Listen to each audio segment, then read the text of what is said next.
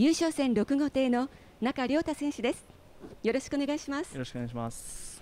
準優勝戦は4コース角からコンマ08のスタート。さしての2着で優出ということになりました。バックであと一歩という感じだったんですが順位を振り返っていかがでしたか？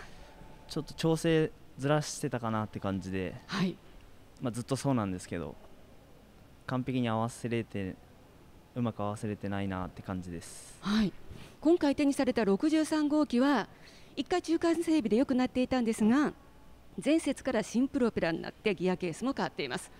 どんな足なのかなと気にしてはいたんですがでそのあたり調整面が難しい。そうですね。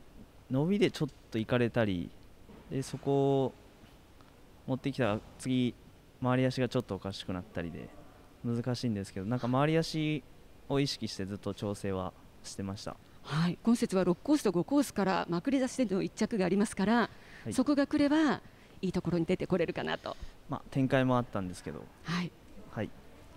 優勝戦6枠はそのあたり展開をしっかり捉えたいところではありますね。